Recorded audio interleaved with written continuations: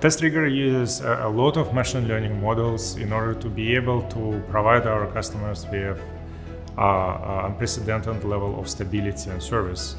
Uh, it uses uh, a, lot of uh, AI in order to be able to uh, understand what you're trying to say in English, understand how to find things on the screen, classify different uh, type of images which are otherwise impossible to describe. For example, a shopping cart icon, user icon, and such.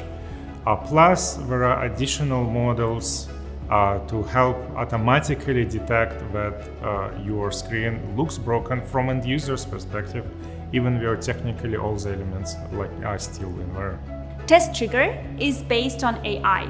We do have machine learning and test creation integrates AI. We do have crawler-based generated tests as well as behavior-driven test creation.